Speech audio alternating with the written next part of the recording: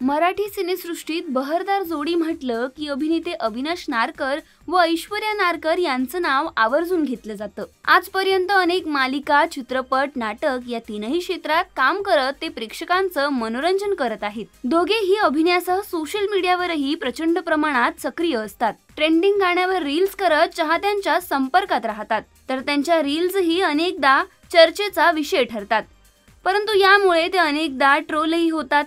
पण सध्या त्यांनी ट्रोल करणाऱ्यावर नाराज होऊन त्याला चांगलेच खडे बोल सुनावले आहे. नुकतंच अविनाश नारकर यांनी सुट्टी सुरू आहे मस्त फिरूयात बिना पैसे असं कॅप्शन देत एक फनी व्हिडिओ शेअर केला. या व्हिडिओवर मात्र एका नेटकऱ्याने त्यांना ट्रोल केला आहे. त्याने म्हटलं की पुण्यात दोन तरुण मुला मुलींना धनदांडग्यांच्या हरामखोर पोराने ठार मारलं. नाचताना आधी थोडा खेद दुःख तरी व्यक्त करा अशी विचित्र कमेंट केल्याने त्यावर अविनाश नारकर यांनी इंस्टाग्राम स्टोरी शेअर करत सडेतोड उत्तर दिलं.